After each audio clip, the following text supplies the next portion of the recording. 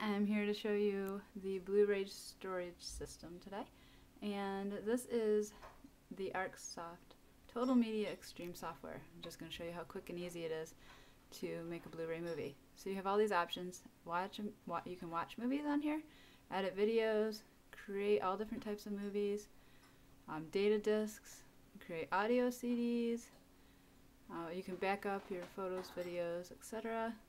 and do erase discs even as well. So we're going to create a video first. So we go to create Blu-ray movie. Hmm. Now what I do is insert video and now I'm going to do all of our Christmas videos at once to show you. We've got a billion of them. These are from all our videos back to 2007. So it's definitely more than 50 I'd say. They're all like anywhere from one to three minutes. I select them all just by drawing that, that square around the videos. Click the white space. Oops, don't Try that again.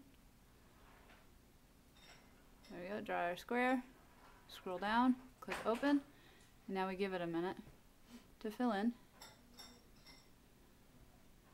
And you'll be amazed at how quickly that goes. Uh, while we're waiting for that, here is the Blu-ray external drive. Very simple to use. It's got two USB cords that you back here that you just plug into your computer and you're up and running. And once your movie's created, uh, you just pop it open, insert your Blu-ray discs, which are look just like regular discs. And they are that's still working. Let's see if I can get this open for you. And there are all our videos. Can you believe how quick that is? Oh, I'm just going to show you a disc here. Oh, I opened one that's not open. Sorry about that. Let's try this again. There you go. And there's the Blu-ray discs. Okay, so there's all our videos. Now we, you can move them around by going, just simply click and drag. Then you can go to design. Oh, actually, you can insert, you can do more. Insert slideshows, capture videos, insert PowerPoint, music, create a new slideshow. We'll go to design. You have options for all these different still menus that you can do. You double click and it changes. And then you can do animated menus, which are fun. Snowfall, this is the snow falling, etc. Uh, you can change the layout. You can make it three pictures. You can click to edit the titles, and you can remove these titles if you want between below the photos. Other customizable options as well, background images, music, an intro video. Um, you can preview it here if you wanted to. Um, and you can see the snow falling. So click quick preview. Now these are all the different screens. So there you can see it playing.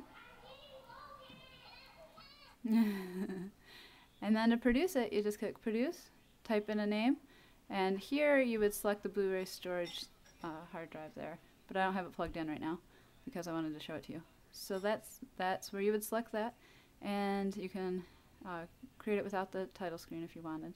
And then you hit burn. And to burn it, it takes uh, that number of videos. It takes probably, I'd say 20 minutes. It's actually fairly quick, I thought, for that many videos. And then you can come over here and watch it on your TV. So let's see here. Let's get it started for you. click play.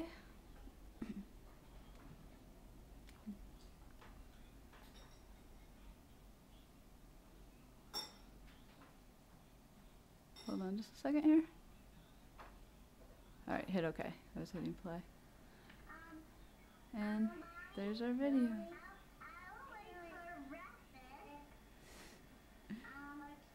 And it's very crisp and clear. Um,